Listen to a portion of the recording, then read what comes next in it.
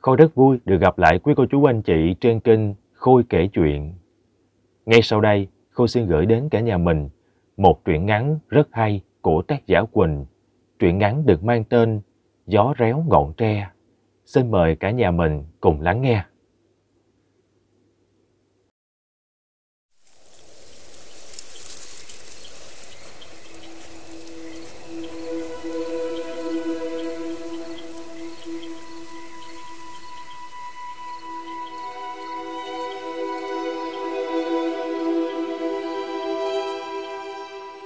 Xấu xị đang đi từ phía đường cái về.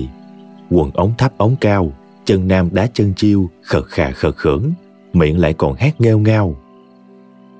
Hai tay bưng chén uh, Chén rượu đạo là rượu đạo. Nửa say cái mà nửa tỉnh Té nhạo là nhạo xuống sông. Ơi Trời đất ơi. Hát vừa dứt câu thì xấu xỉ cũng lủi luôn xuống cái bến sông, nước đang đầy âm ấp. Trời đêm gió lạnh, thêm cái bộ mình ướt nhẹp đang lót ngóp leo lên bờ của y ta. Ai mà từ xa đi tới, chắc tưởng Mai Gia leo lên bờ kiếm chỗ ngồi, không chạy dắt dò lên cổ mới lạ. Xấu xị lê lết cái thân thể ướt nước, hơi men sau cú té ngập đầu đó đã bay đi quá nữa. Tuy nhiên, con mắt thằng chả vẫn còn lờ đờ nhìn gà hóa phượng, nhướng lên cụp xuống, đấu tranh hết mức để lê lết về cho được nhà. Đi tới bụi tre đầu xóm, bụi tre nổi tiếng về những câu chuyện ma mị, tới nỗi người ta phải đóng hàng rào bao xung quanh lại để giảm bớt sự sợ hãi.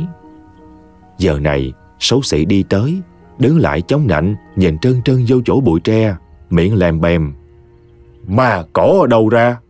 Hay là có thằng cha nào ở chôn tiền vàng gì dưới này, rồi bày điều đặt chuyện hù dọa người ta? Tao sống ở đây gần bốn chục năm trời, Làm gì thấy con ma nào? Con ngon thì ló mặt ra đây nhát tao đi nè. Chợt hai mắt thằng chả mở lớn, Nhìn thật kỹ vô chỗ gốc tre. Có mấy thứ gì đó như phát sáng trong đêm. Lần mò tới cái hàng rào, Thò đầu vô ngó nghiêng. Xấu xỉ suýt nữa thì hét lên vì khoái chí. Cả một ổ nắm mối đang đội lên chi chích Như mời gọi thằng chả. Không cần nghĩ nhiều Sâu xị nhìn quanh quất một vòng, sau đó thì nhổ mấy cái cọc cắm hàng rào đủ chỗ chui vô, rồi lẹ làng lách người. Loáng một cái, thằng chả đã ngồi gọn lõn trong đó mà cười lên hi hí. Đúng là thần men hộ thể khai mở nhãn cầu. Chuyến này có một nồi cháo nắm mối giải rượu, bồi bổ sức khỏe nữa. Hút nhanh lên, không thôi có đứa nào phát hiện là phải chia. Miệng cười, tay thì quơ hút lia lịa. Nắm mối ở đâu mà mọc quá trời, nhổ hoài không hết.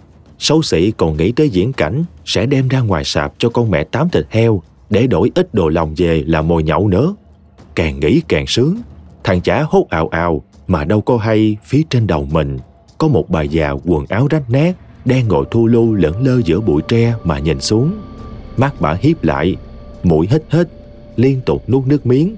Nuốt không hết, mộng chung còn chảy ra khỏi miệng mà nhẽo xuống dưới.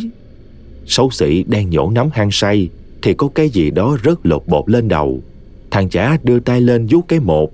Là cái gì đó ương ướt nhân nhớt Dội ngước đầu nhìn lên trên Vừa hay thấy được cái gì đó dài nhằn Đổng lẳng Đang từ từ dương tới.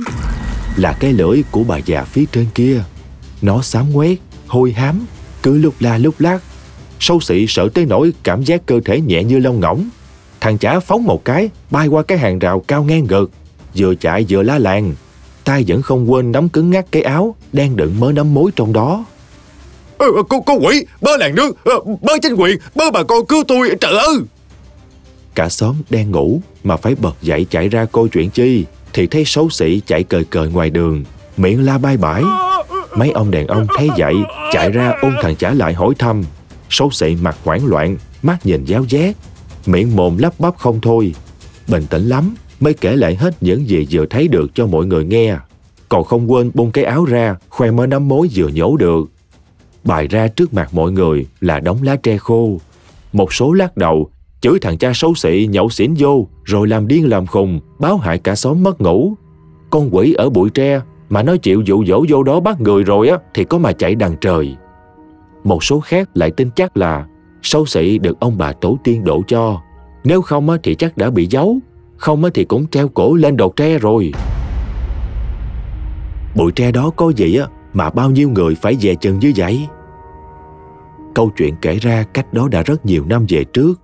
Cái thời đất toàn rừng, người dân phải đấu tranh hết mình với thiên nhiên để mong có cuộc sống ấm êm. Cái thời mà nơi đây luật du thu lễ làng. Ngày đó có bà già dắt díu theo hai đứa cháu nhỏ dạt về đây. Nhìn cái bộ dạng ốm đói, quần áo đen nhẽm bụi đường thì đủ hiểu bà cháu họ đã vất vả ra sao.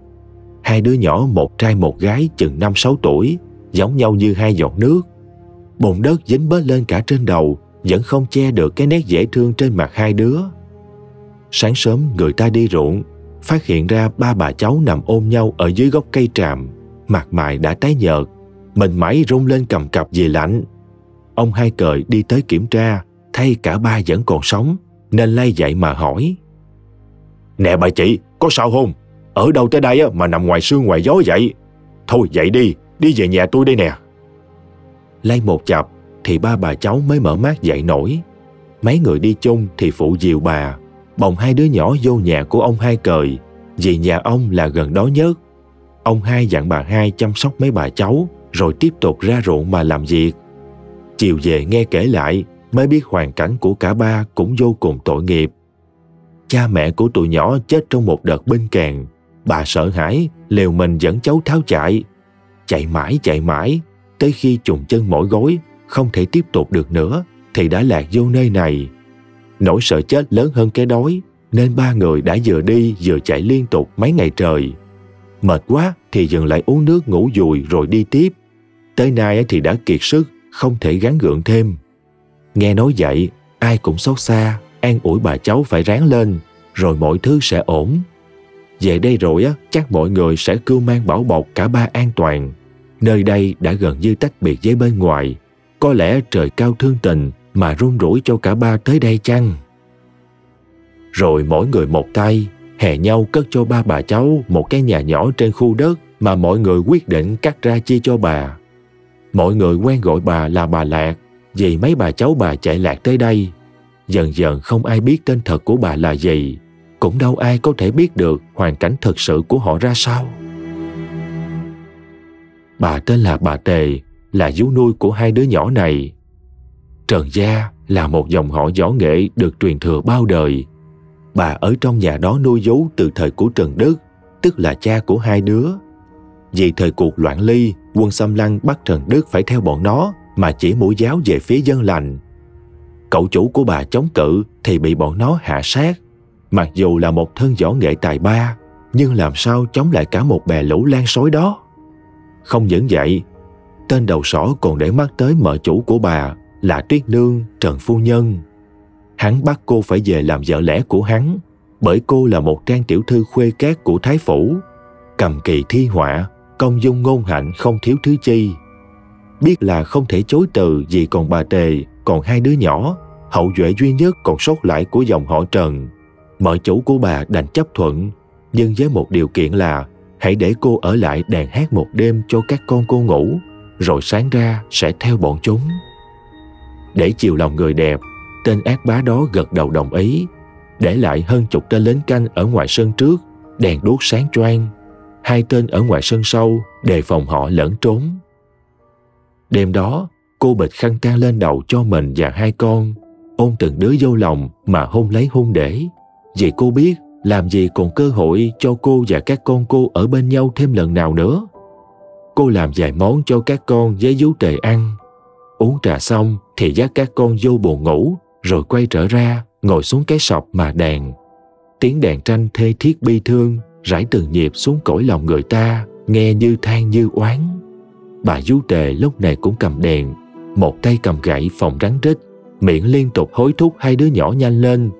Ba bà cháu đang lúi húi khom lưng đi trong cái đường hầm thoát hiểm mà cậu chủ bà đã làm từ khi mới dựng ngôi nhà này lên. Quá cấp bách, không còn thời gian để lấy bất cứ thứ gì. Mở chủ chỉ có thể nhét vô áo bà vài đồng bạc, đeo lên cổ hai đứa nhỏ hai miếng ngọc đến ước của vợ chồng cô mà dặn dò. Từ nay có ai hỏi, cứ nói tụi con mồ côi cha mẹ, kêu vú tề bằng bà ngoại biết chưa? Phải sống thật quật cường, không được ủy mị yếu mềm. Cha mẹ không thể bảo vệ tụi con, trong lòng cảm thấy áy náy lắm. Bởi vậy sau này lớn lên, bằng mọi giá phải bảo vệ cho bà ngoại, không được dông ơn bà đã cưu mang tụi con lúc thắt ngặt này.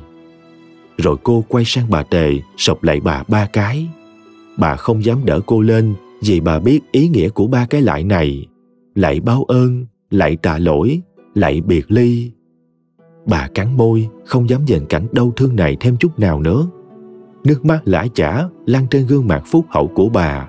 Giọng cô nhẹ nhàng đưa bà ra khỏi cơn xúc động. Đi đi vú, con chỉ có thể cầm cự cho ba người tới gà gáy mà thôi. Hai đứa nhỏ nén khóc, tới đỏ hết mặt mày.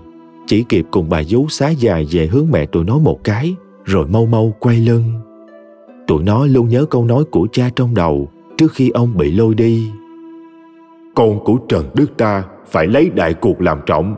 Chỉ cần không bất trung hiếu nghĩa, thì dẫu phải lùi một bước, cũng không phải là kẻ yếu hèn, mà là kẻ thức thời. Bên ngoài, bọn lính canh đứa thì ngủ gà, đứa thì đê mê theo tiếng đèn. Chúng đâu thể biết được, những kẻ mà chúng được lệnh triệt hạ sau khi dẫn phu nhân đi đã rời khỏi rất xa chỗ này rồi.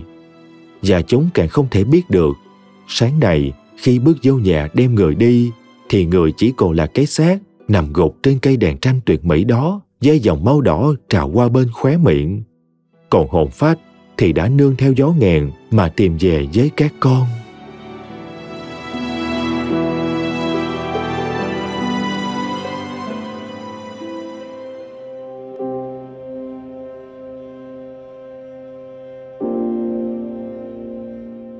Từ ngày có bà cháu bà Lạc về, trong xóm vui hẳn lên. Mấy đứa nhỏ thích chơi với con Phúc thằng An lắm. Chị em nó dễ thương, ngoan ngoãn, lễ phép vô cùng.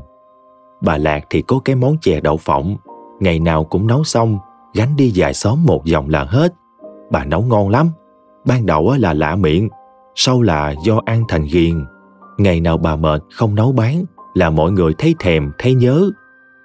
Thấm thoát mà đã trôi qua 4 năm, con Phúc đã biết theo bà đi bắt ốc, hái rau, thằng An thì biết cắm câu thả lưới. Nhìn hai đứa nhỏ đầu tóc cháy nắng, mặt mày đen đúa, bà Lạc chạnh lòng thở dài. Tuy vậy, biết tụi nó cứng cỏi giỏi vắng, bà lại thầm cảm tạ trời đất đã phù hộ cho bà nuôi nấng được huyết mạch của dòng tộc can trường. Bà nhớ lại câu nói của Trần Đức, coi lần tâm sự với bà.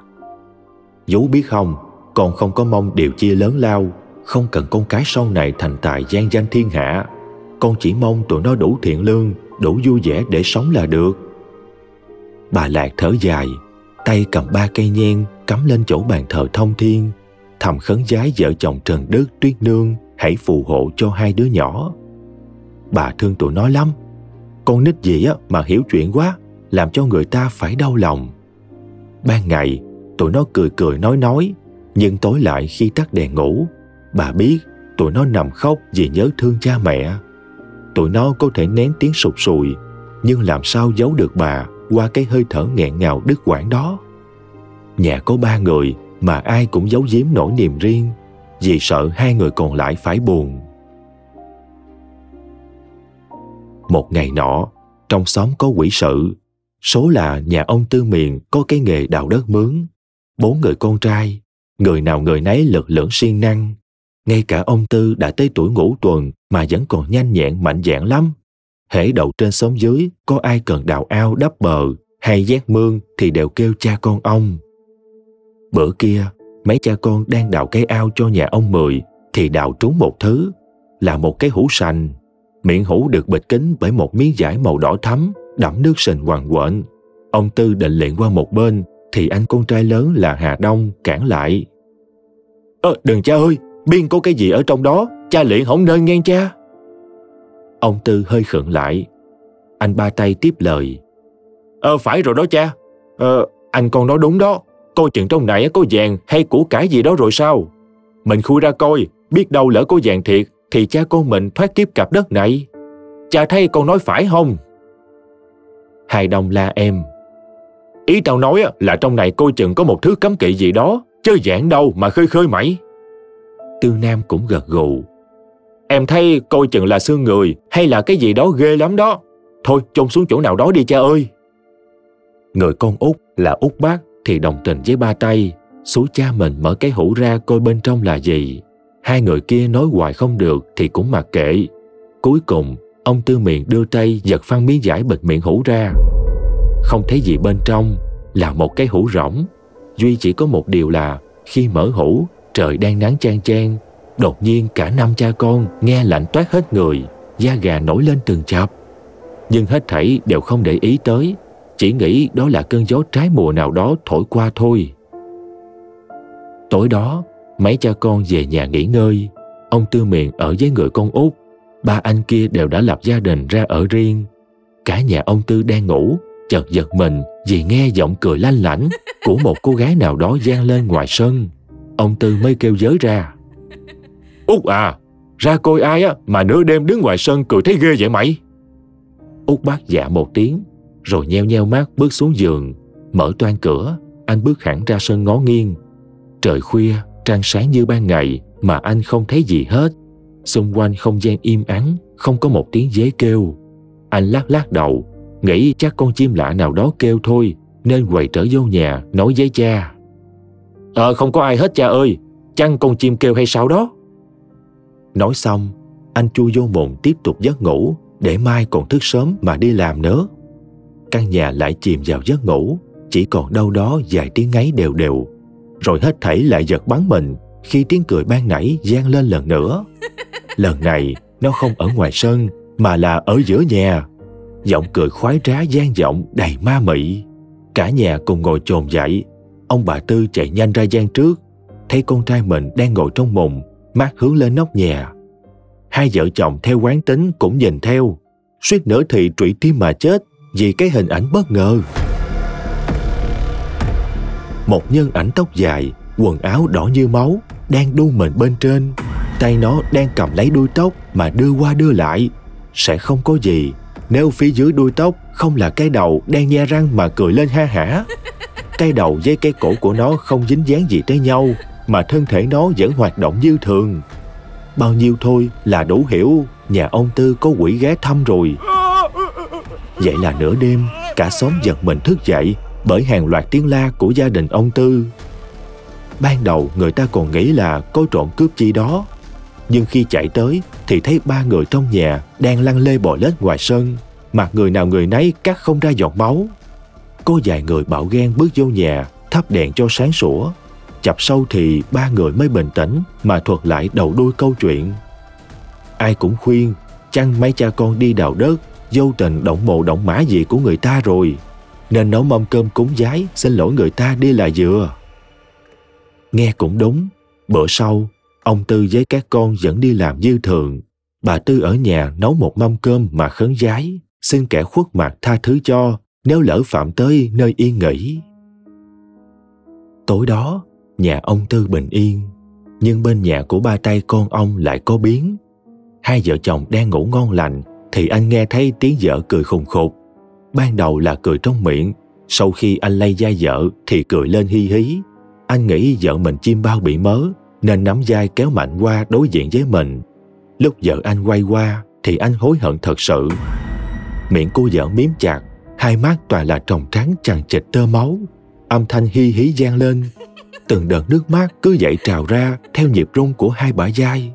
Anh giật mình ngồi phát dậy thì bàn tay của cô vợ nhanh như cát chọc lấy cánh tay anh mà ghi chặt.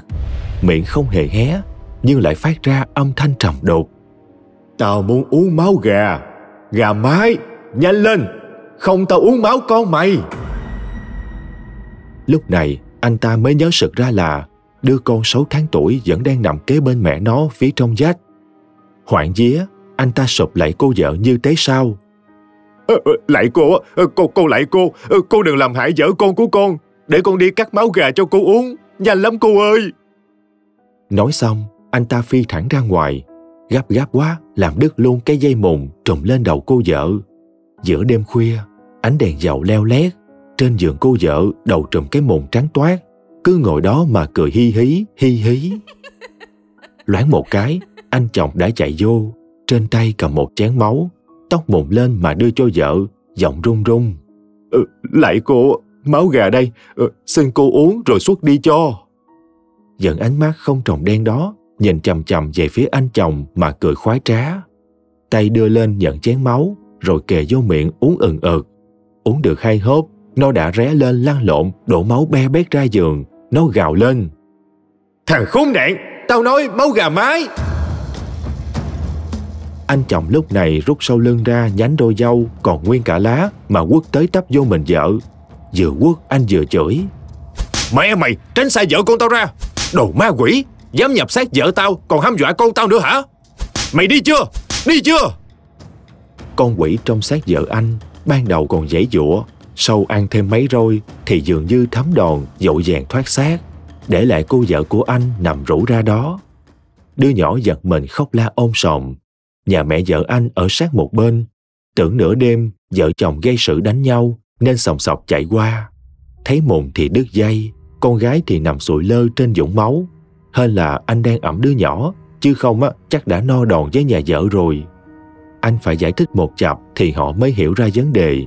Khuyên vợ chồng anh đi về nhà bên đó ở tạm qua đêm nay rồi mai lại tính tiếp.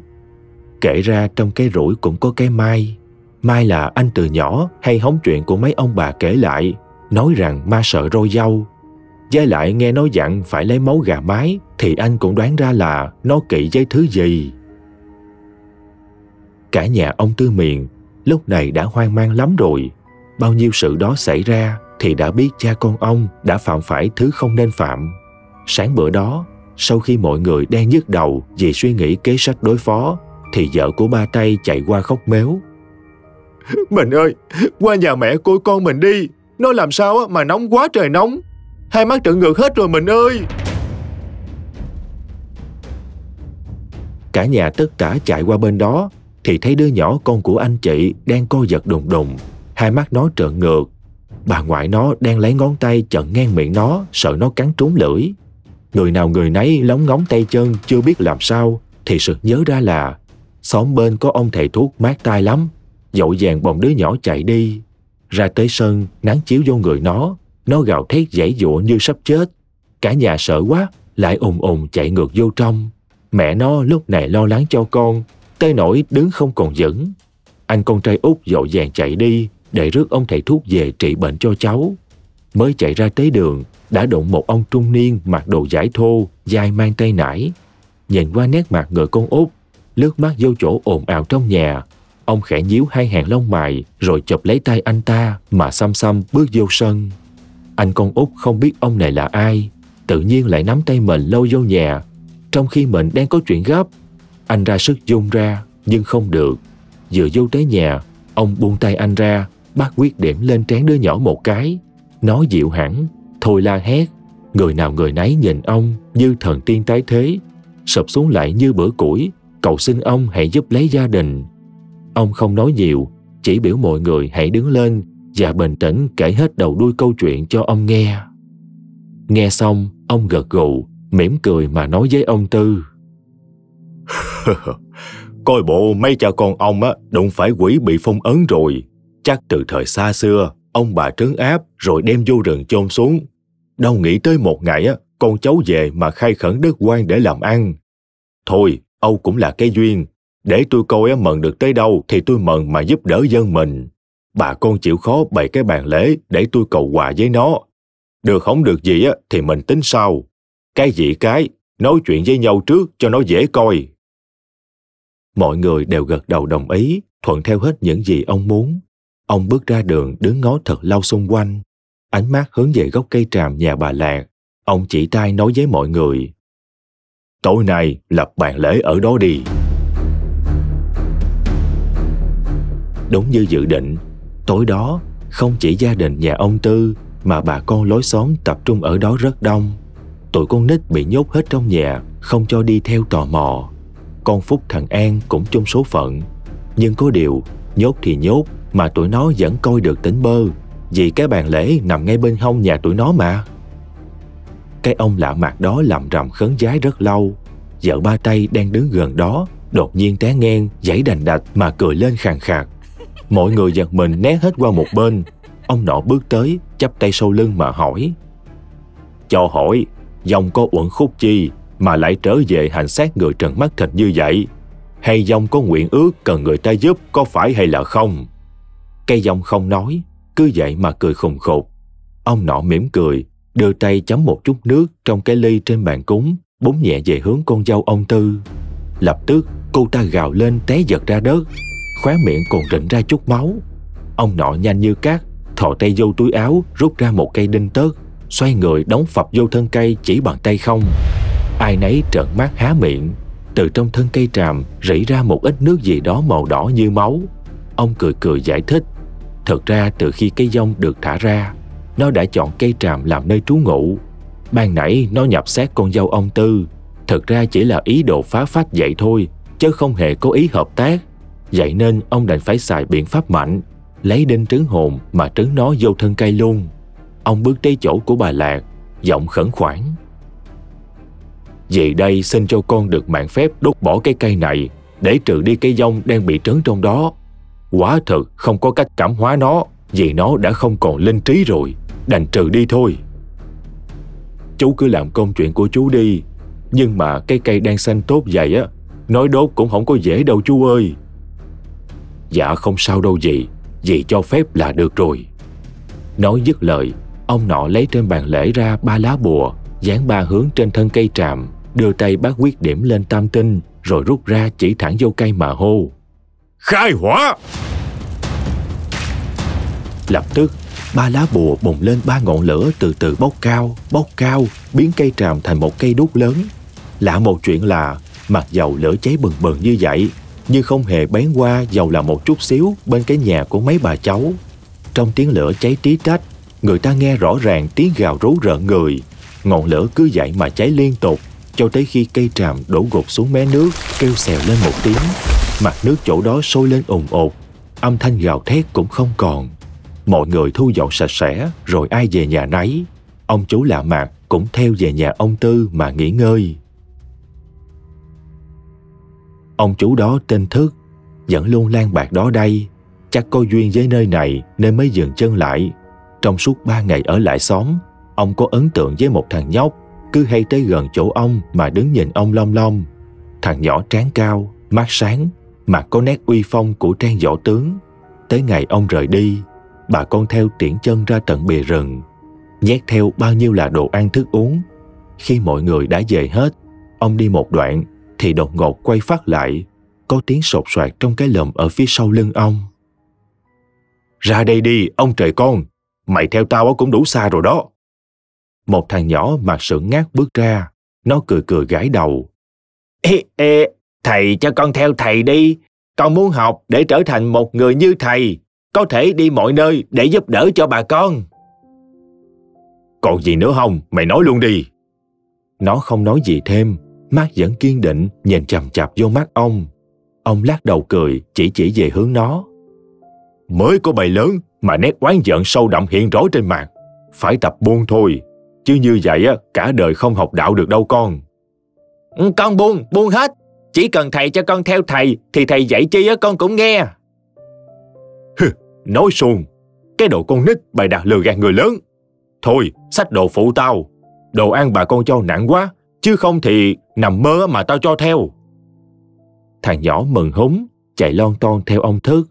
Nó là thằng An, chứ ai đâu xa lạ. Mấy ngày nay á, nó cứ theo canh chừng, sợ ông Thức đi bất tử thì tuột mất cơ hội của mình. Những kẻ giết cha mẹ nó, nó nhớ mặt nhớ tên từng thằng. Đã bốn năm trôi qua, trong đầu nó luôn có ý định sẽ tìm cơ hội báo thù. Và giờ đây, có lẽ cha nó trên cao đã phù hộ cho nó gặp đúng người để luyện rèn cho nó. Bởi từ khi gặp ông Thức, trong lòng nó luôn thôi thúc phải theo ông cho bằng được. Nó không dám hỏi xin bà ngoại nó, vì nó biết bà sẽ không bao giờ đồng ý. Nó chỉ nói với chị nó, cầm theo miếng ngọc mà mẹ nó đã đeo cho chị em nó ngày trước, vậy là đi. Thằng An đâu biết rằng, ở nhà nó ngay lúc này đang như phong ba bão táp. Bà Lạc chạy sắp ngỡ từ trưa tới chiều để kiếm thằng An mà không gặp. Bà con trong xóm cũng chạy đi kiếm phụ. Không biết cái thằng này nó đi đâu mà không nói với ai hết. Trước giờ nó có như vậy đâu. Tối đó, lông bà Lạc đang ngủ chỗ bộ giạc tre, mắt hướng ra đường mà lòng như lửa đốt. Con Phúc bước tới ngồi xuống, ôm bà từ sau lưng mà thỏ thẻ. Ngoại à, thằng An nó theo chú Thức rồi. Bà Lạc nghe như sét đánh ngang tai, trống ngực đập liên hồi, bà như không thở nổi. Con nói cái gì vậy Phúc? Sao không cản em? Trời ơi là trời cháu tôi! Rồi nó mà có mệnh hệ gì á, sao ngoại sống nổi đây?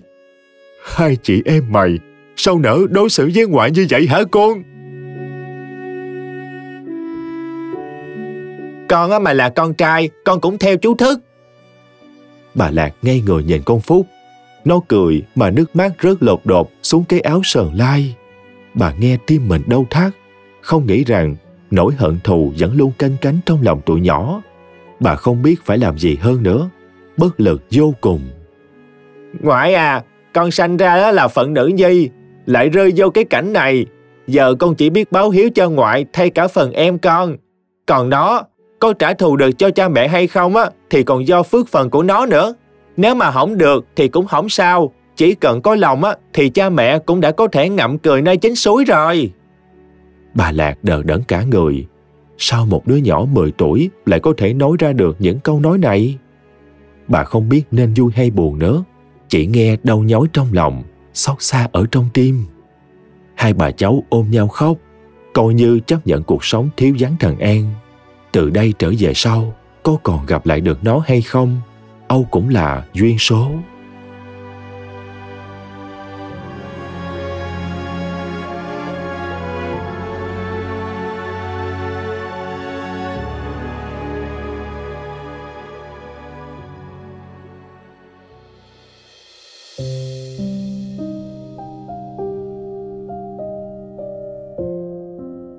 Thời gian chậm chậm trôi qua, lại thêm vài mùa mai nở lại tàn.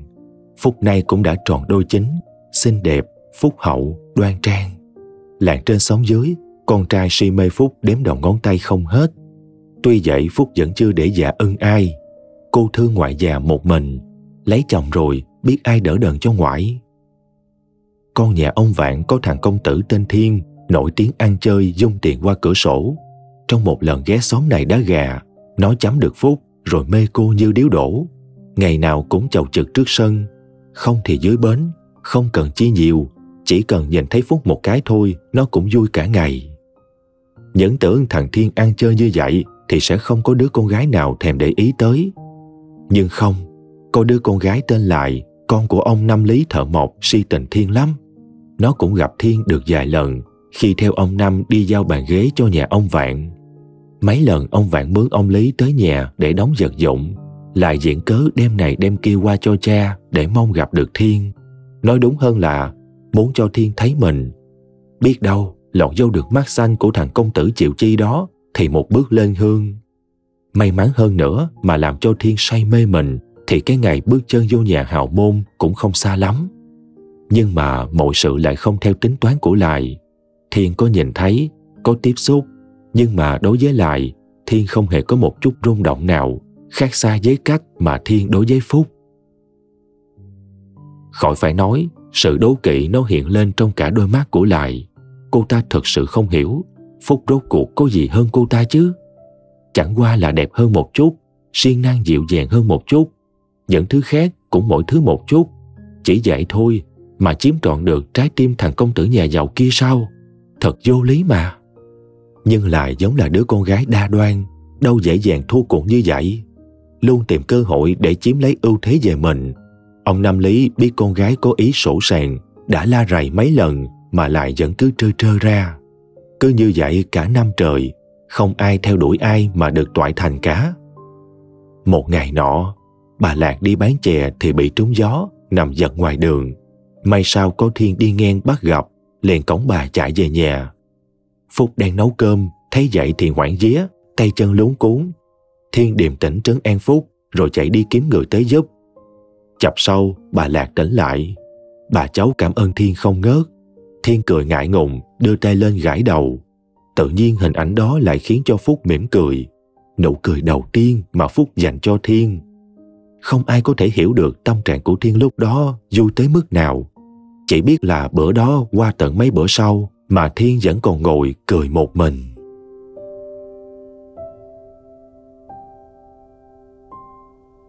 Người ta nói đúng, không có gì cảm hóa được trái tim người ta dễ dàng như tình yêu.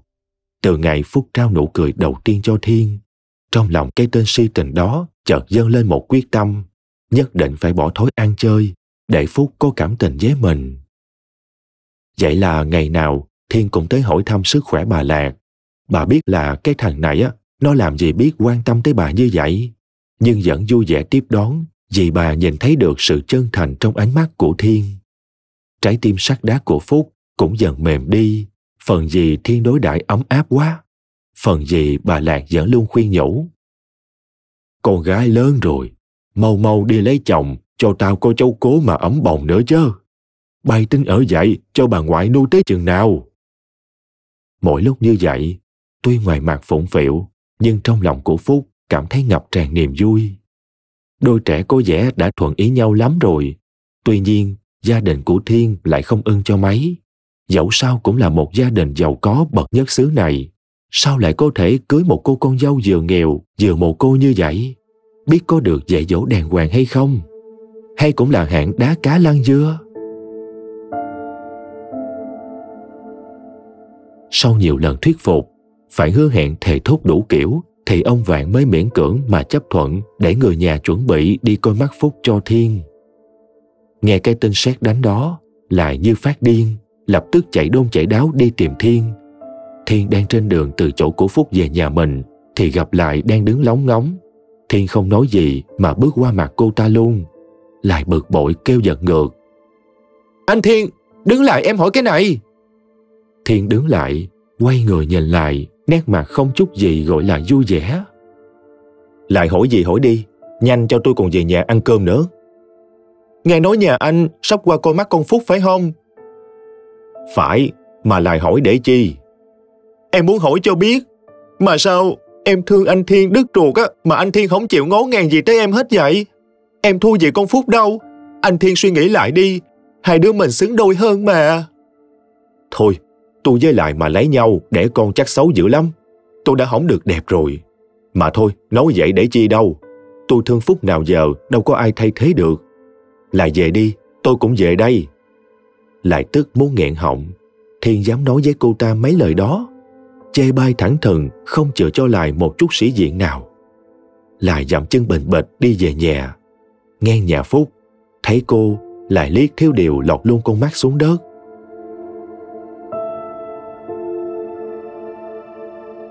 Ngày đám hỏi của thiên giới phúc, bà con lối xóm chúc mừng cạn hết ly này tới ly khác. Lại đứng ngoài sân, không thèm vô. Nhìn thiên đeo vàng cho phúc, mà mặt cô ta tái dại đi vì ghen tức. Hậm hực bỏ đi, lại cứ cắm cúi mà đi, không cần biết mình đi đâu. Tới chừng mệt quá, thì mới tựa lưng vô một gốc cây ngồi nghỉ mệt. Không gian đang yên ắng. Chợt lại nghe có hai ba người đàn ông đang nói chuyện với nhau ở mé trong bờ sậy mẹ nó, chuyến này mà không có tiền trả cho tụi nó là ba thằng mình chết hỏng toàn thay luôn. Làm sao bây giờ anh hai? Cái tên được kêu là anh hai đó mới lên tiếng. Làm sao, ai mà biết làm sao? Má đó su gì mà su dữ. Cái tháng này không gỡ gạt được đồng nào. Cả ba đang làm bèm với nhau trong đó. Lại ở ngoài này, trong đầu lại hiện lên một ý nghĩ xấu xa. Cô ta hơi nhếch mép mà đứng lên hán giọng.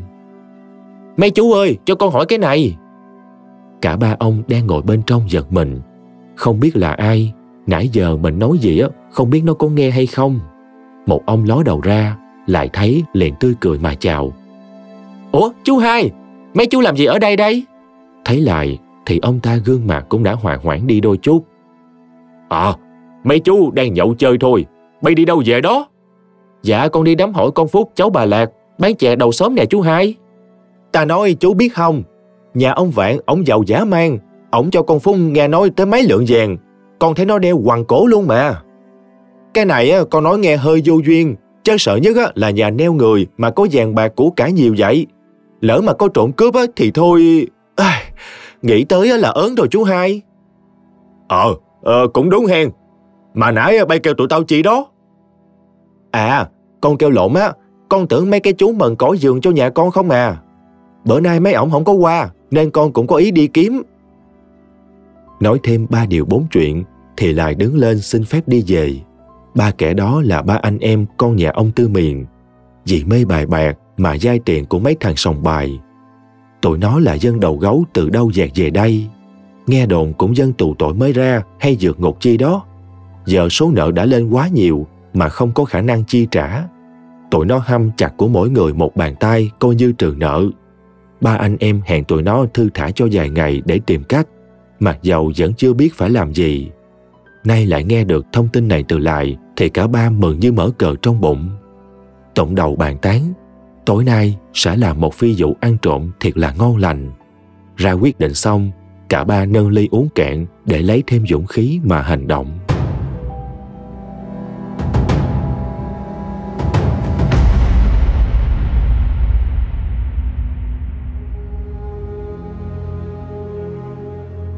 Tối đó, Phúc ngồi buồn buồn, bà Lạc thấy vậy thì bước tới xoa đầu mà hỏi. Sao vậy con? Mệt hay gì? Mệt thì đi ngủ sớm đi. Mà nè, dàn tiền cất kỹ nghe hôn con, đeo khơi khơi hỏng nên à.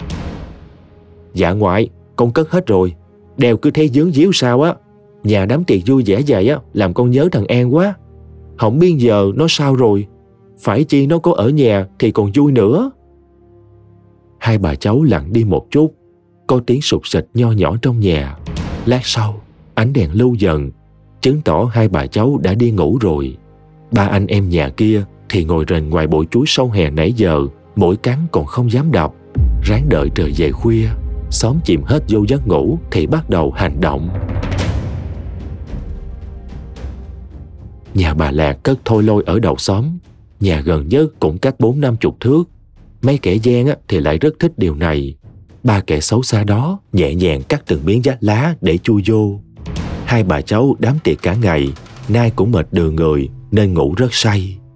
Lúc trót lọt vô được nhà, người anh hai thì coi lục lọi đồ đạc, hai người kia thì canh chừng hai bà cháu. Xưa nay ngoài làm mướn với bài bạc ra thì quả thật là cả ba chưa bao giờ dám đi trộm kiểu này nên cũng khá là lo lắng hồi hộp. Nhà hai bà cháu đơn giản, không có đồ đạc gì nhiều. Ngó nghiêng một chập vẫn không biết rốt cuộc là Phúc cất vàng cưới ở đâu. Cả ba cảm thấy vô cùng sốt ruột. Chợt Tư Nam khều dai hai đông, chỉ chỉ lên giường của Phúc. Cái hộp màu đỏ vuông vắn đang nằm sát đầu nằm của cô. Cả ba nhìn nhau gật đầu. Đâu còn cách nào khác nữa. Hai người em nhẹ nhàng dở mùng rồi bất ngờ chụp lấy cổ người nằm trên giường mà bóp miệng bóp cổ đè hẳn lên người để họ không dễ dụ được nhiều. Hai đông nhanh như cát leo lên chụp lấy cái hộp mở ra. Đúng là đầy một hộp tiền vàng trong đó. Hắn ta cười lên khoái trá. Lúc này, cả hai người trong nhà đã bị bóp cổ nằm sụi lơ. Có vẻ như là chết lưu hay sao rồi. Thoáng chút lo lắng hiện lên mặt. Nghĩ ngợi đáng đo hai đông quyết định đốt nhà phi tan để hai bà cháu nằm chung một giường rồi chăm dầu mà đốt lên. Tới khi người ta phát hiện thì chăng cũng đã cháy hết dấu vết rồi. Nghĩ là làm, cả ba hì hục khiêng bà Lạc qua bên giường của Phúc. Ba Tư tự nhiên cười lên hi hí mà hất mặt về phía cô gái nhỏ. Thân thể nuột nà, bị phơi ra do dặn kéo lúc nãy. Một đứa con gái đẹp vậy á, mà chết kiểu này thì cũng thật là tiếc chi bằng mỗi người hưởng một chút, coi như xả xui dậy. Sẵn có men trong người, cả ba cũng không ngần ngại gì mà không làm khi con thú hoang đang cào xé thôi thúc. Vậy là cả ba tên lôi phúc xuống đất, thay nhau hành hạ cái xác đã dần lạnh lẽo của cô gái tội nghiệp. Đang hả hê, thì bà Lạc đột ngột tỉnh dậy, rên lên một tiếng khe khẽ. Hai đông dội dàng chụp lấy cây đèn dầu, đập mạnh vô trán của bà, làm cho bà té giật xuống giường, Lần này, bà mới thật sự lìa trần. Mắt mở trơn trơn nhìn lên nóc nhà, Như không tin cái sự thật này. Số phận nghiệt ngã, trút hết lên đầu của kẻ khốn cùng là gì đâu?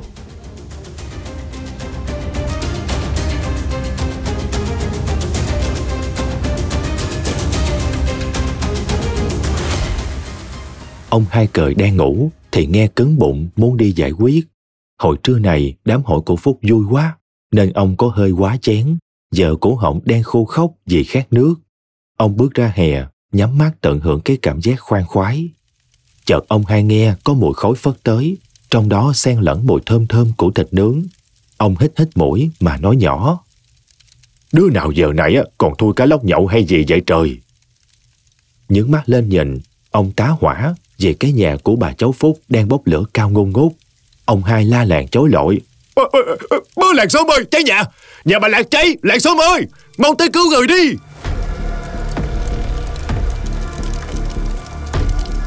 Ông vừa la vừa kéo quần chạy tất cả lại nhà của bà Lạc. Quơ dọ nhánh cây dài gần đó mà đập cho lửa bớt cháy đi nhưng vô ích. Cái nhà cháy lớn quá. Ông loay hoay thấy được cái xô mà phúc vẫn dùng để tưới rau. Ông chạy xuống sông múc nước tạt vô nhà vừa làm vừa la làng bớ xóm. Làng xóm ơi Nhà cháy rồi Nhanh lên đi bà con ơi Phúc ơi, Phúc. Còn có trong đó không, Phúc? Chạy ra con ơi. Bà Lạc ơi, bà Lạc. Kêu thì kêu dậy chớ nghe cái mùi bốc ra thì ông biết đã quá muộn màng rồi. Chút sau, cả xóm tập trung lại cứu hỏa. Trầy trợt lắm thì mới dập tắt hết ngọn lửa. Người phỏng ít, kẻ phỏng nhiều. Có người còn chạy qua bên nhà của ông vạn mà cho hay. Thiên chạy như điên qua. Vừa hay cái nhà đã được dập lửa xong xuôi. Anh lao vô trong mặc cho mọi người ngăn cản lấy tay không, thiên cào từng đống đổ nát hất qua một bên.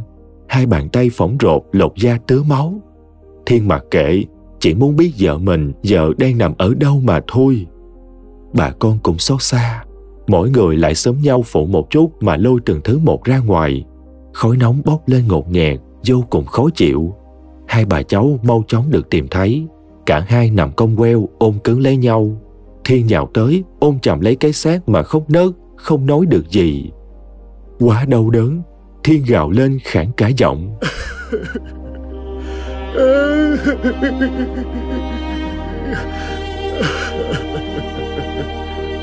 Ba tên sát nhân nãy giờ cũng nằm trong số những người dập lửa, cảm thấy ốc ác nổi đầy đầu. Rõ ràng là lúc nãy, trước khi bọn họ rời đi thì vẫn thấy hai cái xác nằm hai hướng, mà sao dở lại có thể ôm nhau cùng chết như vậy? Hay một trong hai người vẫn còn thôi thóp, không thể chạy được, nên chấp nhận bị thiêu sống.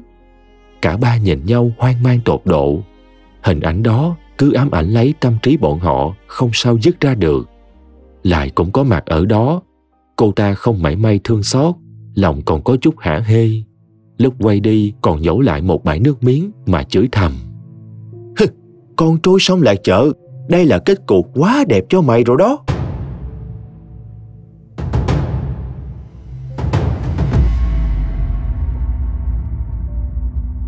Sau cái chết của phúc, thiên điên điên dại dại hết một thời gian dài.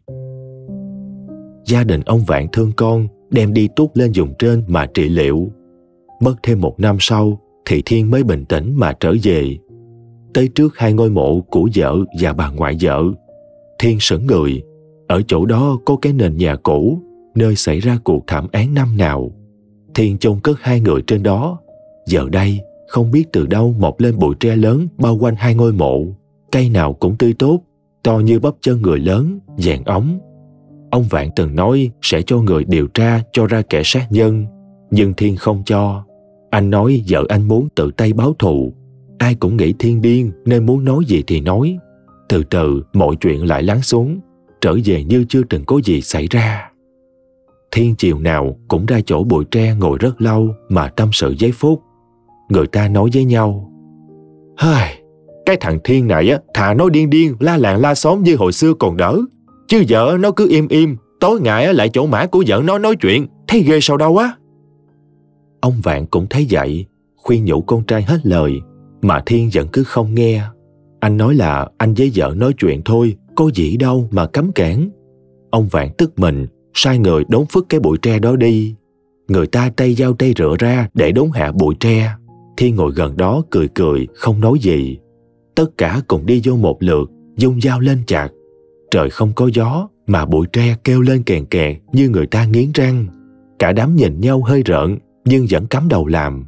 Chặt một phát xuống, thì ai nấy đều ôm lấy chân mình mà lăn lộn. Rõ ràng là nhắm vô cây tre mà chặt, nhưng khi hạ dao lại tự mình chặt trúng chân của mình. Qua lần đó, ông Vạn có mướn bao nhiêu tiền đi nữa thì cũng không ai chịu đốn cái bụi tre đó cho ông.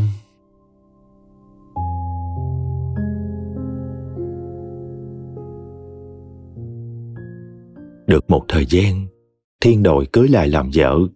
Cả nhà ông Vạn lại được một phen bất ngờ.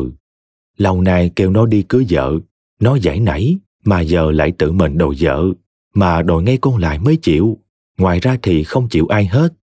Lại mừng như bắt được vàng khi nhà ông Vạn đem trầu cao qua dạm hỏi Giờ mà không cần đám hỏi, chỉ cần Thiên lên tiếng thôi, thì theo không về làm vợ Thiên lại cũng chịu.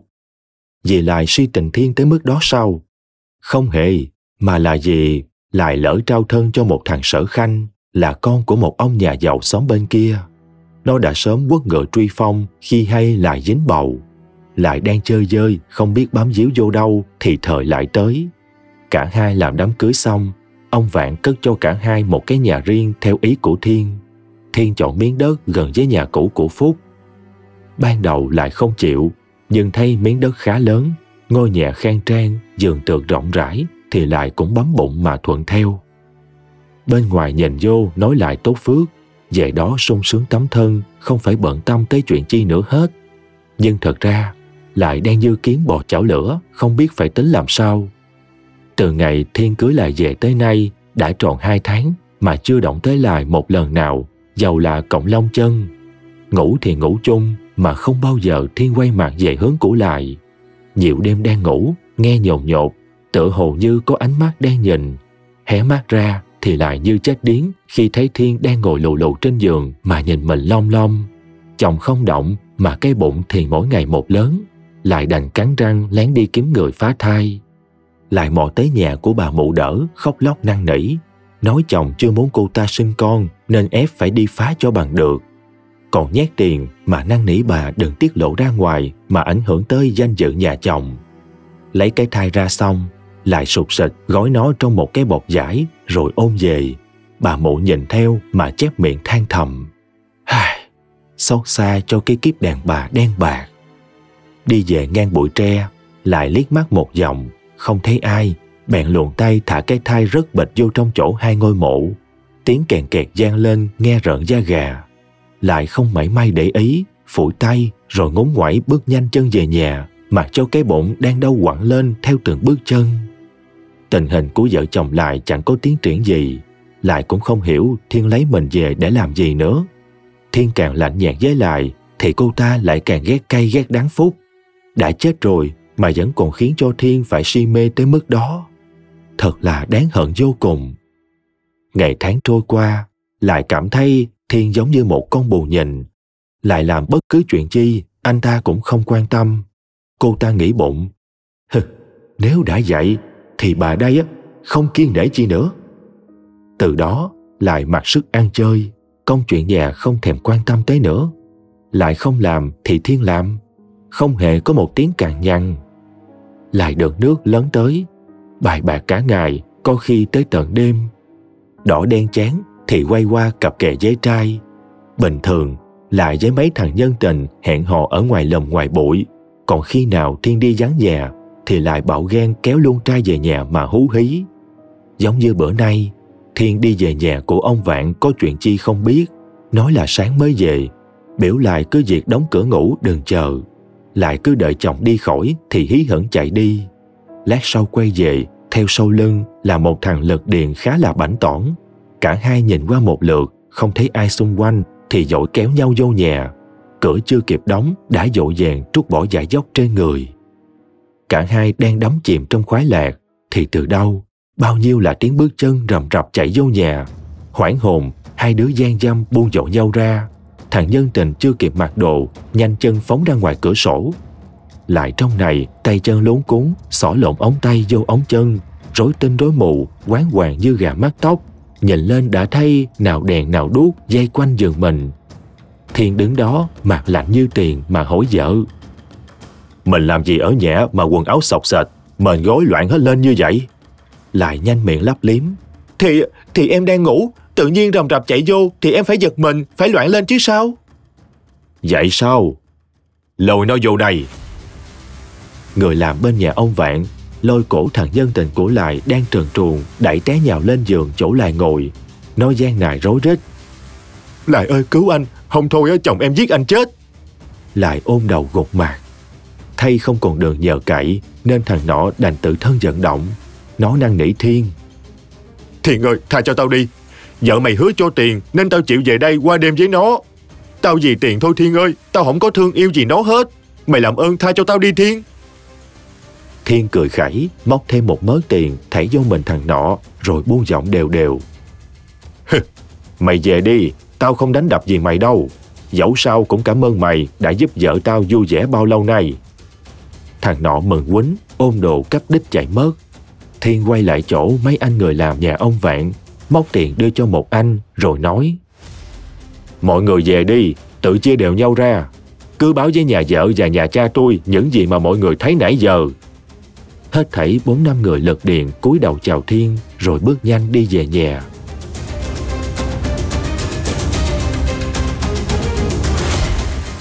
Ngôi nhà rộng rãi, giờ chìm trong một bầu không khí lãnh đạm. Thiên nhếch mép cười với vợ. Bất ngờ lắm phải không? Thực ra thì muốn hại chết một người là điều vô cùng dễ. Giận như giận mèo chuột thì mới vui, mới lý thú. Thiên bước ra ngoài, khóa cửa nhà lại, đi vô buồn cười cười với nét mặt như một kẻ bệnh hoạn. Đưa tay lên bóp chặt mặt của vợ, Thiên gằn lên từng tiếng. Có chơi thì có chịu. Trên đời này không có cái giá nào đắt hay rẻ, chỉ có xứng đáng hay không thôi. Dứt câu, Thiên đưa tay xé toạc quần áo trên người của lại. Cô ta còn đang tưởng bở là sẽ được Thiên ân ái cuồng loạn, thì giật mình một cái. Thiên đè sắp cô ta xuống giường, rồi lấy giải trói chặt hai tay hai chân, đi lại dách nhà, rút ra một cây roi cá đuối, lại bắt đầu hoảng loạn, miệng liên tục gian sinh. Anh, anh Thiên, tha cho em đi, em hứa không bao giờ có lần sau. Ờ, em sẽ ngoan ngoãn làm vợ của anh mà anh Thiên. Thiên cười nhếch mép, tiến tới lôi cô ta té phịch xuống đất. Từng vệt dạ râu dung dút quất xuống da thịt cô ta tứa máu, lại đau nhức lan lộn, miệng cố la hét cho lớn để mong ai đó có thể cứu mình. Cô ta càng la, máu điên trong người của Thiên càng được dịp trỗi dậy. Thiên dùng hết sức mà quất chan chát lên cái thân thể lõa lồ đã be bét máu me kia. Ngoài cửa nhà có tiếng đập cửa ầm ầm là của ông Năm Lý cha của Lại cùng với mấy người hàng xóm. Thiên ơi, mở cửa cho cha, có gì từ từ nói con ơi. Lại nghe thấy giọng của cha mình thì mừng như mở cờ trong bụng, cố sức hét lên. Cha ơi, cứu con, thằng chồng con muốn giết con cha ơi. Bốc một tiếng, cú đá như trời giáng đáp giữa mặt con đàn bà đê tiện. Máu miệng máu mũi của cô ta chảy ra ròng ròng. Thiên ngồi xuống, nắm tóc lại mà giật ngược lên thì thầm. Vì mày mà Phúc mới chết. Phúc nói cho tao biết hết rồi. Mày là đứa đưa thông tin rồi khích cho ba thằng kia lại cướp vàng giết vợ của tao. Mày hay lắm lại. Nhưng đã tới lúc tụi mày trả giá rồi đó, con đúng mệt. Lại như chết cứng, không chối cãi được gì. Thiên lôi cô ta đứng dậy, kéo một hơi ra chỗ mấy người kia đang cố tình tông cửa ầm ầm. Thiên kéo chốt gài. Ông Lý đang trớn tông cửa thì nhào thẳng vô trong, té úp mạc vô cái thân thể bầm dập của con gái. Ông ta điên máu đứng phát dậy muốn ăn thua đủ với thằng con rể. Lại la lên. Cha ơi, đừng cha ơi. Là lỗi của con, con đáng bị như vậy cha ơi. Cha cho con về nhà đi cha, mình đừng làm ôm sòm lên nữa. Cô ta sợ cha mình mà manh động thì Thiên sẽ khai ra mọi chuyện. Lúc đó thì còn chết lớn hơn. Ông Lý cắn răng dằn cơn tức giận, bước tới cởi áo ra che cho con gái rồi dẫn về nhà. Mấy người trong xóm cũng không dám bàn tán gì mà kéo nhau đi về luôn. Đợi mọi người đi hết, Thiên bước ra khỏi nhà, đi nhanh tới chỗ bụi tre, rồi ngồi đó cho tới lúc trời hửng sáng mới về.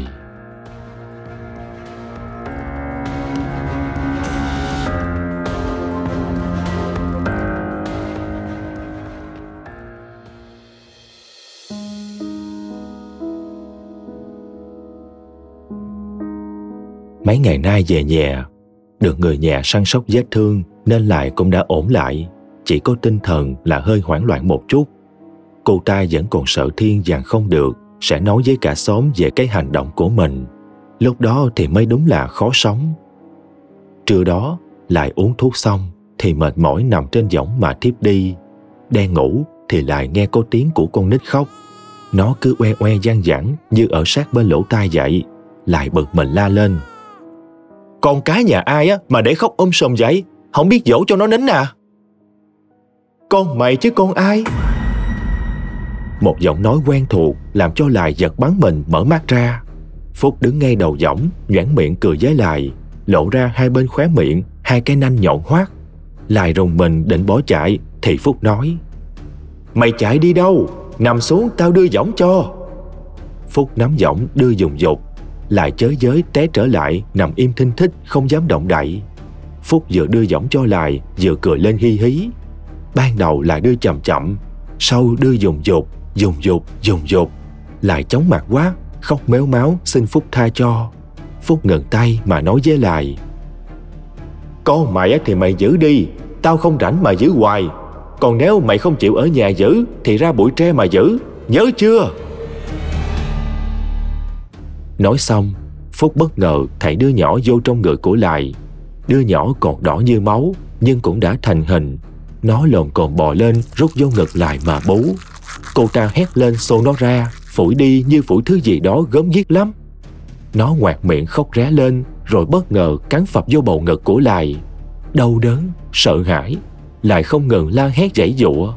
Mẹ lại chạy xuống Thấy cô ta nằm trên võng ngủ Mà tay chân quơ đạp Miệng thì la hét nên đi tới mà đập dậy hỏi Lai Lai, Lai Sao vậy con? Sao mà la dữ vậy?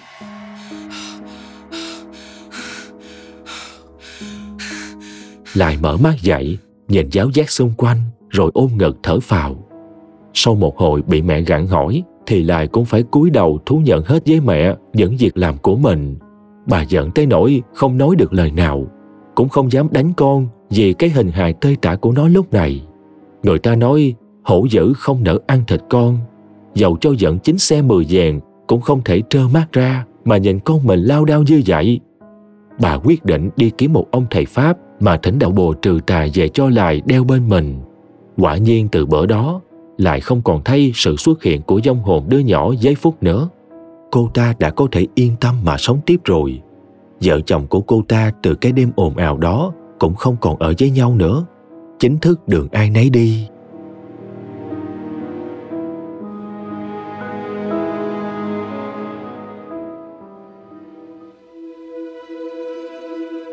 Về phần của ba anh em con ông Tư Miền, qua cái trận nợ nần năm đó thì cũng có chút sợ, mặc dầu vẫn không thể bỏ hẳn cờ bạc, nhưng không dám chơi bất kể chết như trước. Một bữa nọ, trong lúc đang ngồi sòng thì thấy Thiện đi tới, mặt mày bơ phờ, cầm cục tiền nhảy vô giữa sòng bài rồi nói Tôi theo chú hai, đặt cược gấp 10 lần. Chú hai, chú cứ đánh thoải mái. Nay còn buồn quá, không biết làm gì. Mấy thằng cha đó ngơ ngác, không hiểu thằng ôn con này á, nó làm giống gì mà xài tiền như nước vậy. Tuy nhiên, cái lợi trước mắt làm sao mà bỏ qua cho được. Cả đám hăng máu chiến ầm ầm. Thiên cũng nhanh chóng nhập cuộc chơi quên trời đất. Tới nửa khuya mới chịu kéo nhau về. Từ bữa đó, ngày nào Thiên cũng tới mà chơi. Tiền bạc đổ ra không biết bao nhiêu mà kể. Có bữa vui gì đó, Thiên bao luôn phần của ba người kia chơi xả láng. Thắng thì lấy tiền, thua thì Thiên chung độ Cả tháng trời như vậy, sự xuất hiện của Thiên giống như điều hiển nhiên ở đó. Một bữa nọ, Thiên đột ngột mất tích. Mấy thằng cha đó cũng mất đi một phần hứng khởi. vốn đã ăn quen nên nay giáng Thiên thì cả đám cảm thấy khó chịu lắm. Từ Nam đưa ra thắc mắc. Tôi thấy ngộ cái này nè mấy ông. Cái thằng Thiên này á, hồi trước nó ăn chơi khét tiếng, chứ đâu phải dân không biết đâu mà nó cứ đâm đầu vô chỗ mình ăn không vậy. Ba tay cười, rít một hơi thuốc, rồi liền cái tàn ra xa, chép miệng. Mày quên là đợt vợ nó chết, nó bị khùng hết một thời gian hả? Tao nghĩ bây giờ nó cũng chưa tỉnh táo gì đâu. Có thêm cái vụ bắt ghen dính vợ mới của nó với thằng quỷ kia ngay trong nhà nữa. Không điên mới lạ. Kệ đi, ăn của nó được đồng nào hay đồng đó, ai biểu ngu. Cả ba cười lên khoái chí, rồi cắm đầu mà chơi tiếp. Bữa sau Thiên tới, đem theo một bọc tiền lớn, thêm một mớ mồi nhậu mà cười hề hề. Mấy nay con chơi quá hết tiền. Hôm qua phải nghỉ một ngày để về nhà xin tiền ông già. Ông bực bội, quăng cho một đống chơi banh xét luôn mấy chú ơi. Bữa nay chơi mà hỏng banh là hỏng về luôn nè. Cả đám cười ha hả. Đúng là buồn ngủ gặp chiếu manh. Nhìn cái bản mặt lơ ngơ của Thiên mà cha nội nào cũng chắc mẩm. Lần này á, sẽ nuốt trọn cái bọc tiền đó về tay mình rồi. Mặc sức mà chia nhau. Mạnh ông nào ông nấy nốc rượu ừng ực vì phấn khích. Lát sau chưa kịp đánh dáng nào, đã nằm lăn quay ra ngủ khì vì mới thuốc mê trong rượu. Thiên dán lên một nụ cười đắc ý. Lôi trong túi ra một tờ giấy lớn ghi chữ chi chích, nháy mắt với cái tên chủ sòng bài. Thiên dễ dàng mua chuộc hắn ta bằng một cọc tiền, sau bao nhiêu ngày phối hợp với Thiên thì bữa nay cũng đã lừa được ba thằng cha già ham chơi này lọt hố. Một cái hũ mực lăn tay được đưa ra, ba dấu tay của ba anh em in lên cái giấy nợ có chữ ký của Thiên, giấy của ông chủ sòng bài nữa. Một số tiền khổng lồ gom lại từ cả tháng nay. Rồi tiền mà Thiên nghĩ ra nữa. Mấy ông già u mê này á, thì làm sao mà nhớ mình đã chơi bao nhiêu. Làm xong, Thiên đứng lên đi về, nhét lại vô túi của mỗi ông một sấp tiền như là tiền tháng độ bữa nay. Một buổi sáng của ba ngày sau, mấy anh em đang tập trung để đào ao cho một nhà ở xóm trên, thì Thiên với vài người làm xuất hiện. Hai đông đưa tay lên chào Thiên mà cười toe toét. Ê thằng cu, đi đâu sớm vậy mày? Thiên cười cười bước tới, giọng hiền hòa. Con đi lấy đất chú ơi. Ủa, đất ở đâu mà lấy? Mới sang lại của ai hả? Dạ, con đi lấy ba miếng đất của nhà hai đông, ba Tây, Tư Nam. Ba anh em nghe nóng mạc. Bữa nay á, thằng này ăn gan trời rồi hay sao mà dám ăn nói láo sự như vậy? Hai đông sớm tới thì bị người làm nhà Thiên cản lại.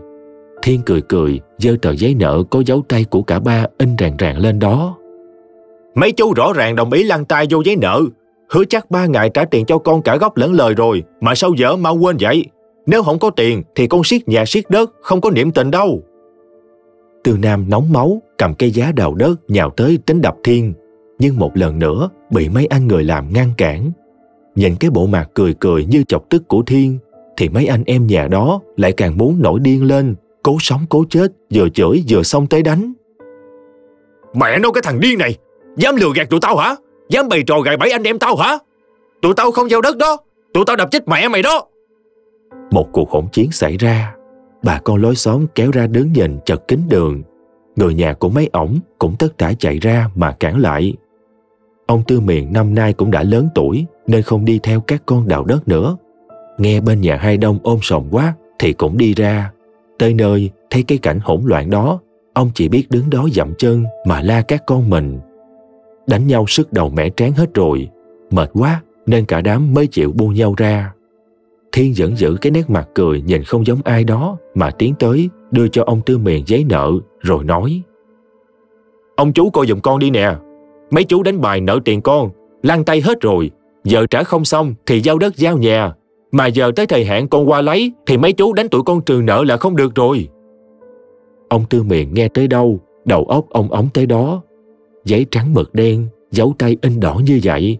Tụi nó mà không có làm thì ai mà dám du oan kiểu này? Thiên thấy nét mặt của ông Tư kém sắc như vậy thì bồi thêm. Thấy nhà cũng chưa chuẩn bị gì kịp, con sẽ gia hạn cho mọi người thêm 10 ngày. Nếu sau 10 ngày mà không giải quyết được cho con vụ này thì con sẽ vừa thư kiện vừa siết đất của mấy chú. Hiện tại đất này là của con rồi, mọi người không muốn cũng phải làm thôi. Nói đoạn, Thiên ngoắt tay, biểu mấy anh em người làm đi về, không quên nhìn lại mà buông một nụ cười với ba ông kia. Khỏi phải nói, sau khi Thiên rời đi, thì cả ba ông vừa ăn gậy của ông già, vừa ăn chửi từ bà vợ. Tiếng than khóc dậy động hết cả lên. Quá áp lực, cả ba lại rủ nhau trốn ở một góc mà nhậu cho quên đời. Hận không thể băm dầm cái thằng Thiên chết tiệt đó ra thành trăm ngàn mảnh.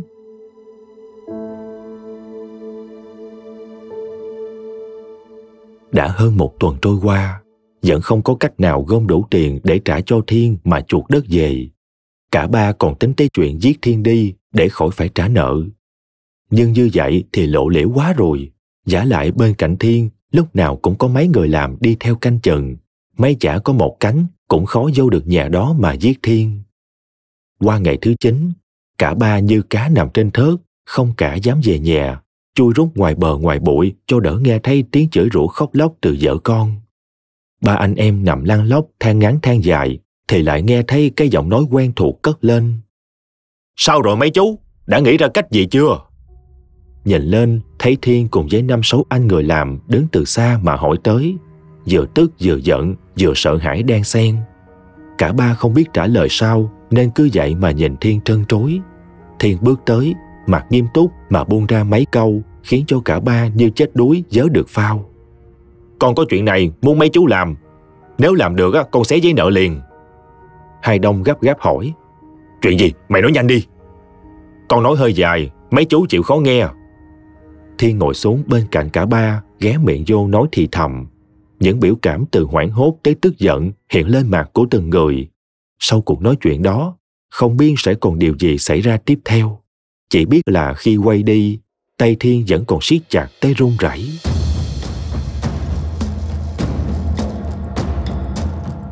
Một đêm rằm của tháng 3, bầu trời trong vắt, ánh trăng soi rõ từng nhành cây ngọn cỏ.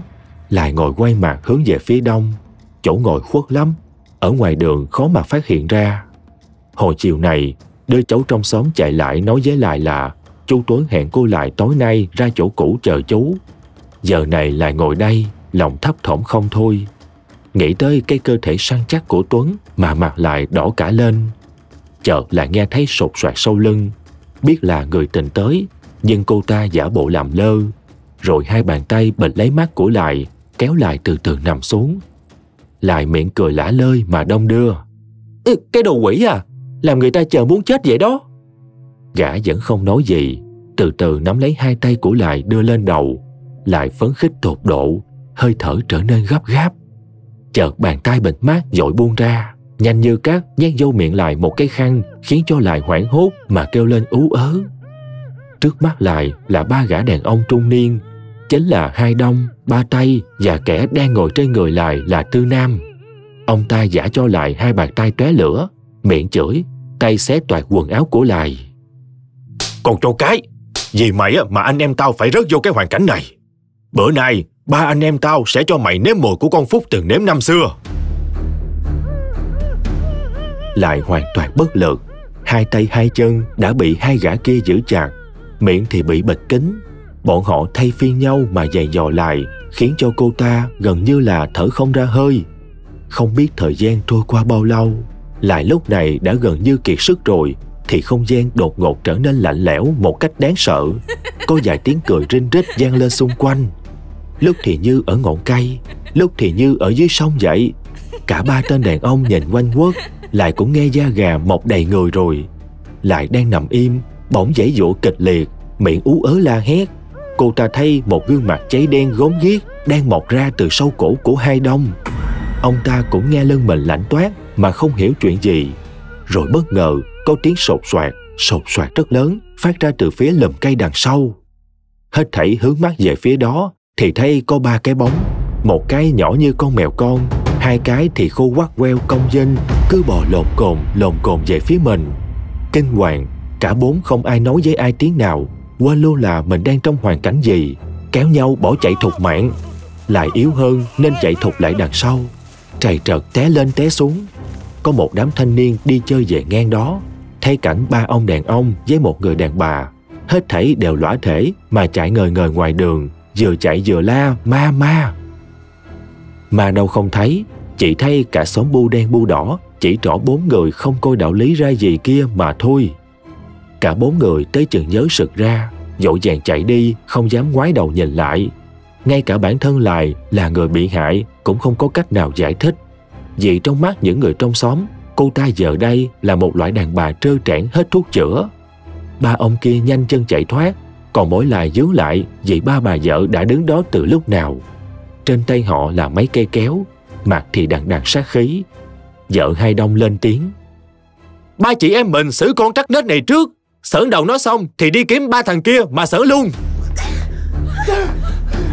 Không cần nói nhiều làm gì thêm phí sức Cả ba lao vô Vừa đánh vừa đè đầu cắt tóc của lại Cô ta chỉ còn biết la hét trong vô vọng Không ai tới giúp Chỉ có đứng bên ngoài dương mắt mà nhìn.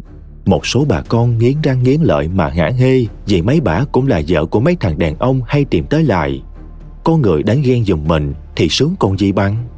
Tới khi gia đình lại hay được Thì lại mới được giải cứu mà thôi. Mẹ lại tức giận mà la làng lên.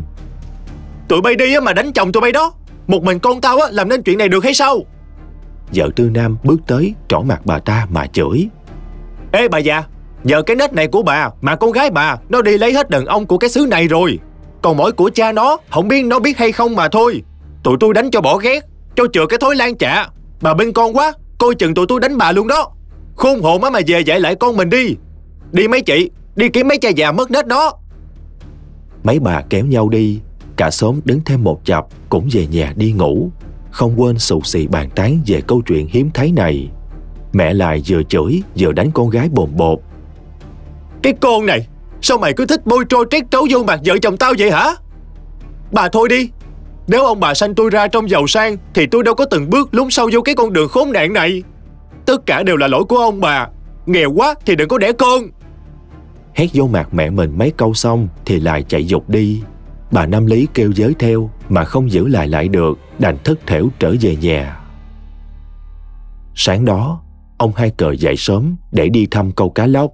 Đi tới chỗ bụi tre, ông nghe tiếng kèn kẹt, kèn kẹt.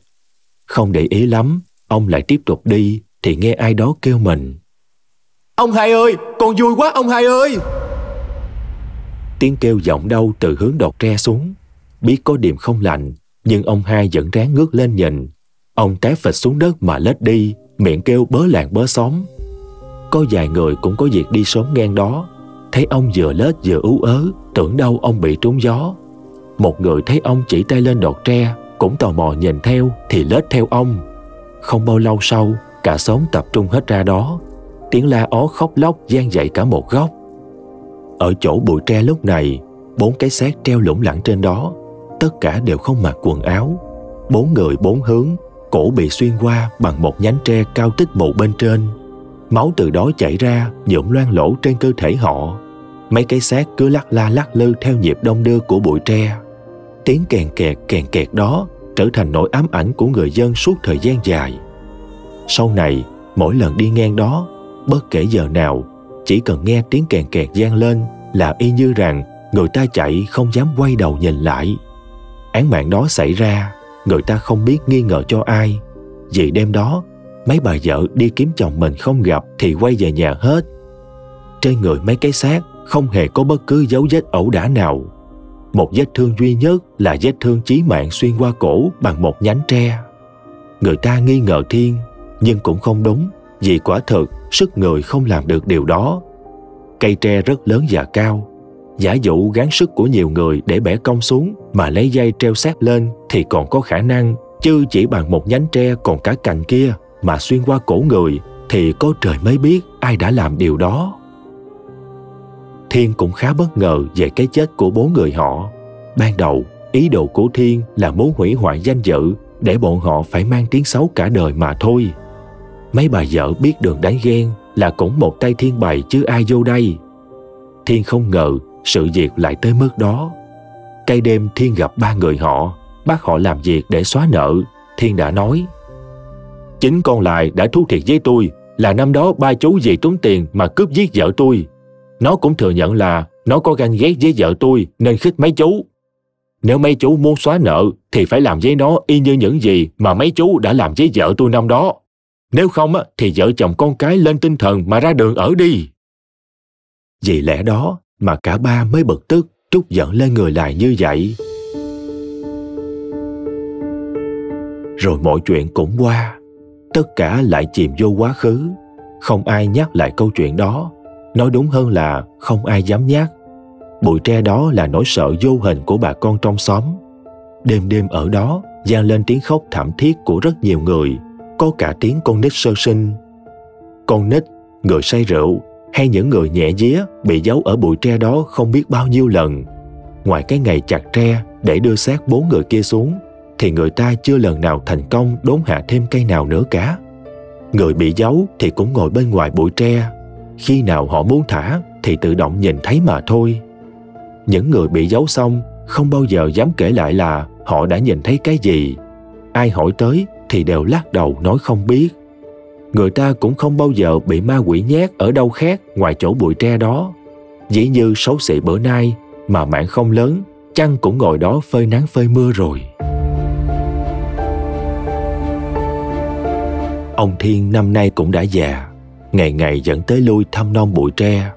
Một ngày nọ, ông thấy có một người mặc đồ giải nâu, đầu chích khăn tan tới trước bụi tre mà cúi đầu lại ba lại. Người đó ngồi rất lâu ở đó. Ông Thiên nhìn qua thì đã biết là ai rồi. Ông quay lưng đi vô nhà, mặc cho người đó muốn làm gì thì làm. Người đó là đàn ông, cũng xê xích tuổi ông Thiên, có điều tóc đã trắng như cước. Ông ta móc trong túi áo ra một cái gối giải, lật ra bên trong là mấy ngón tay người đã được sấy khô queo. Ông đặt xuống, lấy ra một lá bùa nhẹ nhàng để lên trên, rồi nhẹ giọng. Khai hỏa! Lá bùa cháy lên, mấy ngón tay cũng bén lửa cháy theo. Ông khóc mà miệng cười tự hào lắm. Ngoại, chị hai, con về rồi. An của hai người về rồi. Tiếc là chỉ có thể trò chuyện được với hai người như vậy thôi. Hạ được đứa nào, con lấy một ngón tay của đứa đó cất đi để đem về khoe với hai người đó. Hai người hãy yên lòng mà siêu thoát đi. Ông An nhẹ nhàng bỏ lá bùa vô giữa bụi tre, dập đầu lại thêm ba lạy, rồi quay lưng bước đi. Lửa từ đó bén lên cháy ngột ngột. Bụi tre xanh tươi là vậy mà cháy như củi một. Dân kéo ra đứng nhìn mà há hốc miệng mồm. Không ai biết chuyện gì đã xảy ra ngoài ông Thiên. Nhưng ông cũng đã đem bí mật đó mà theo mình xuống ba tấc đất. Ông đi sau cái đêm bụi tre bị cháy. Ông đi nhẹ tinh, miệng còn nở nụ cười. Bao năm nay, ông canh giữ nhan khối cho hai người họ để chờ ông An về. Cuối cùng, ông cũng chờ được rồi. Ông sẽ đi tìm bà Phúc. Mong là bà vẫn còn ở đó chờ ông.